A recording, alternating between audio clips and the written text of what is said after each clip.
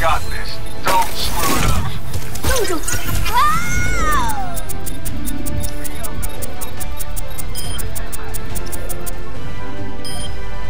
Double kill.